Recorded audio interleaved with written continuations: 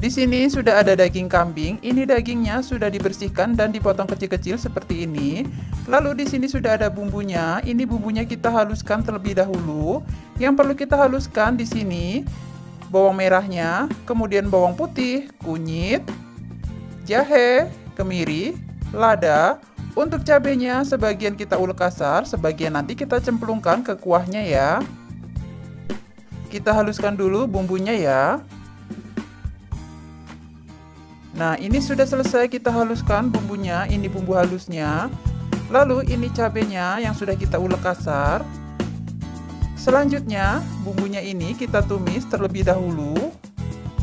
Ini sudah disiapkan minyak dan sudah panas, lalu kita tumis sampai bumbunya ini layu dan harum.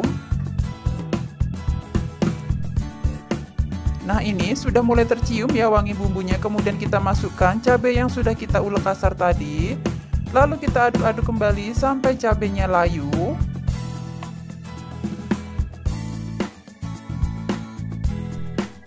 Setelah cabenya layu, lalu kita masukkan air secukupnya. Kemudian kita aduk-aduk supaya bumbunya ini tercampur merata.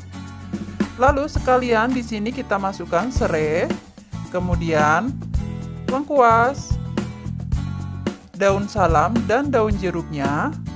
Lalu kita aduk-aduk dan kita tunggu sampai mendidih. Setelah airnya sudah mendidih, lalu kita masukkan daging kambingnya. Lalu kita masukkan sekalian di sini garam. Kemudian penyedap rasa. Lalu kita masukkan kecap manis secukupnya. Dan supaya nanti rasanya lebih nikmat, kita tambahkan kaldu bubuk.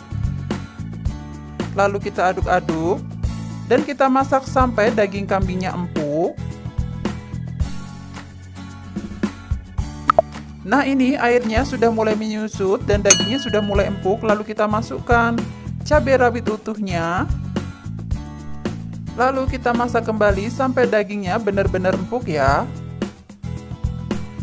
Setelah dagingnya sudah benar-benar empuk, lalu kita masukkan tomat yang sudah kita potong-potong, kemudian irisan daun bawang, lalu kita aduk-aduk kembali sampai semua bahan tercampur merata.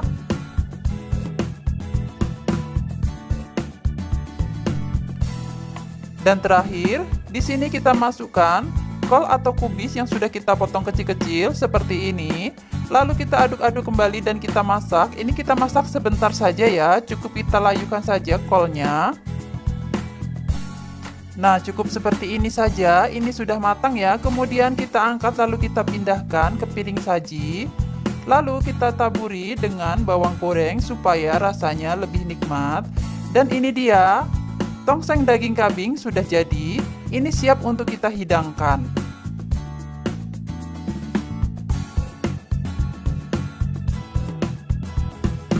Selanjutnya, kita akan membuat sop kaki sapi atau tunjang. Di sini sudah ada bahan-bahannya, ada kaki sapi yang sudah dibersihkan, sudah dipotong-potong seperti ini. Lalu di sini juga ada sayurannya, ada kapri, ada buncis yang sudah dipotong-potong, lalu ada wortel yang sudah dipotong-potong juga, daun bawang seledri yang sudah diiris, lalu ini ada batang seledri.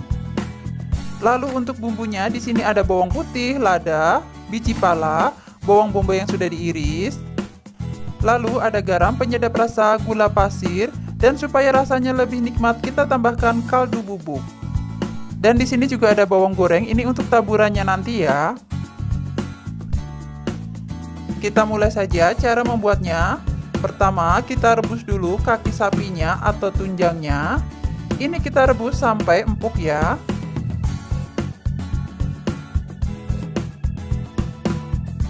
Sambil menunggu kaki sapinya empuk atau tunjangnya empuk, kita buat dulu bumbunya. Ini kita haluskan dulu bawang putih dan ladanya.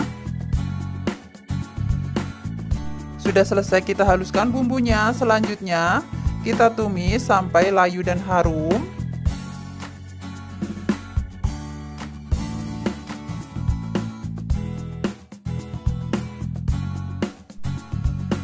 Selanjutnya kita masukkan bawang bombaynya. Lalu kita tumis kembali sampai bawang bombay-nya ini layu.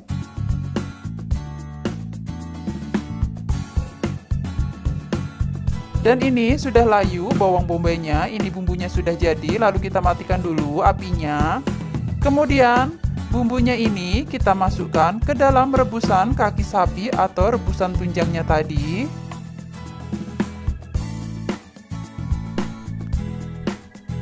Lalu kita aduk-aduk supaya bumbunya tercampur merata. Kemudian sekalian kita masukkan biji pala yang sudah kita geprek terlebih dahulu. Kemudian garam penyedap rasa, lalu kaldu bubuknya. Tidak lupa sekalian kita masukkan gula pasirnya, lalu kita aduk-aduk supaya tercampur merata dan kita masak sampai tunjangnya empuk ya. Setelah tunjangnya empuk, lalu kita masukkan wortelnya.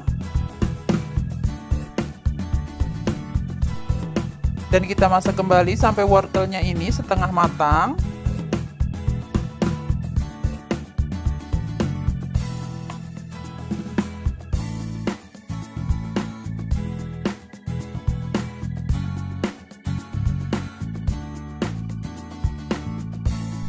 Selanjutnya, kita masukkan sayuran berikutnya, kapri dan buncisnya.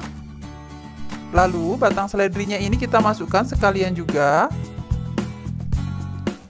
Kemudian kita aduk-aduk kembali, lalu kita masak sampai semuanya matang ya.